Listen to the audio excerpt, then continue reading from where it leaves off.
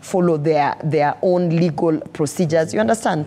So that is something that I'm doing from a legislative perspective. But I can tell you, the, the process of getting a bill passed, from drafting to, to it becoming law, oh, is bureaucratic.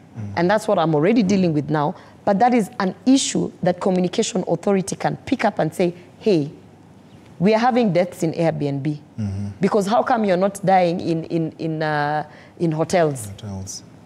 How come you're only dying in Airbnbs? How come murderers are, are have because they have seen a loophole where uh, uh, uh, crime it, it's a thriving environment for crime. So therefore, that is something that government can do tomorrow by just drafting a regulation, taking it to the committee of delegated uh, legislation under communication authority. But the bureaucracy. Uh, No, that's just now intentionality. S- just somebody needs to stand up and say, listen, this is a regulation, and, and not somebody. That's, that one, can, by the way, can fall under, under the Ministry of ICT Yeah. because they can draft a regulation and send, and send to Senate and National Assembly and say, moving forward, all this online uh, real estate, whatever's Airbnbs and whatever, must have physical presence. Because you know what that will do? That will force them to add extra security measures because now they know that they are an, a, a limited, a company operating under Kenyan laws and actually liable. Uh-huh. Yeah. Perhaps that you know such initiatives will be able to bear fruit. Senator, um, we did see you know shifting gears. We did see what happened today, the meeting between the three arms of government. Yes. First of all, I'd like to pick your mind on whereas it has elicited mixed reactions, the meeting between especially the Chief Justice and the President. When you heard that that meeting was taking place, what came through your mind? I was happy because any form of dialogue is good. Uh, just uh, the other day, we had uh, Azimio pushing for BBI. That was a form of dialogue. Building bridges initiative. It was supposed to build bridges across board. Yes. So, I mean, for me, I'm all about dialog So for me, it was like, okay, it seems that we have a stalemate. Everybody anajipiga kifua, like, I am judiciary, I'm going to stand like this, I'm going to do this. I am executive, I'm going to have my powers.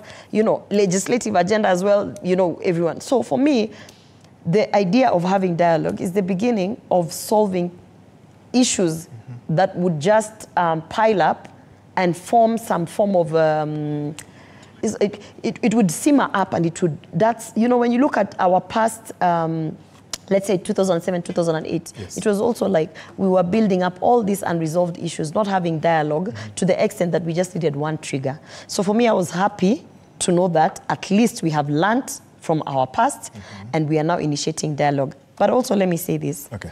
I know that they have discussed about um, uh, budget, Budget, the, judici- the judiciary budget, um, the allocation, and that more resources are required. I know that they have also discussed about uh, human resource in terms of the the, the, the number of uh, judges both in um, Court of uh, Appeal. Court of Appeal and in, the, High in Court. the High Court. I think it was 25 and 11 that they're suggesting should be added. And I also know that they have discussed on, um, so it was the it was the human resource, uh, the budgetary allocation, and how to solve the conflicts within the judicial system. As well as corruption. Yes, as well as corruption. Now, here's my thing.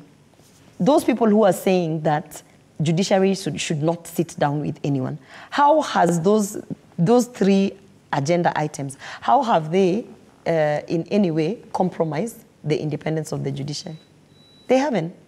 If judiciary is saying we need capacity, we need more resources, and you know, we know the way currently how our, our budgets are structured, somehow there is still that interdependence between the executive and the judiciary, which Yes. we are trying to make independent so that it is not the executive saying, I'm giving you money or I'm not giving you money. But discussing on how uh, justice should be given to all Kenyans in a swift manner does not uh, compromise the judiciary. The argument has been, Meshmiwa, that it will compromise or coerce or sort of be a deal or butter to the bread of, you know, giving or issuing judgments or rulings by the... That is so far fetched officers. because, y- you know, if someone tells you that now uh, Court of Appeal, we lack 11 Judges. judges, and we are discussing on how to bring 11 judges, and let's say government has two or three cases in the Court of Appeal. Okay.